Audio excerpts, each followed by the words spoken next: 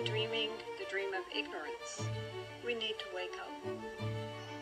It sounds like something very far, very distant, like looking when you're on the plains at the Himalayan mountains. But actually, it's so close that they say it's like the eye, the eyes, you know, cannot see the eyelashes because they're too close.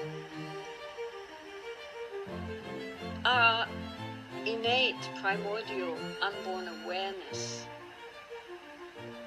is like the sky. The sky is up there, vast and blue. It gets covered by clouds.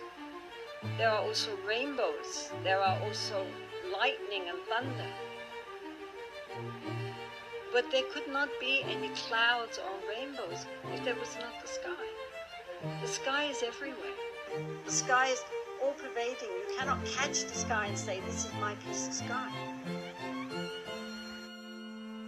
And sometimes we wake up and then we fall back to sleep. But it's important because even though we fall back to sleep, we have that memory that, you know, of the awakened state, even if it only lasts for a, finger snap. It's very important that we actually believe, believe, not just because we've read it or because our gurus told us or because it's a nice idea, but because we ourselves have actually experienced that that is true. That's like getting a real foothold on the path.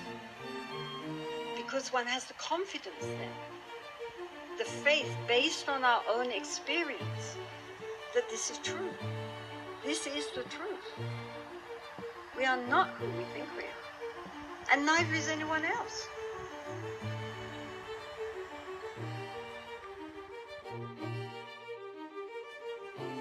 We are all Buddhas in embryo.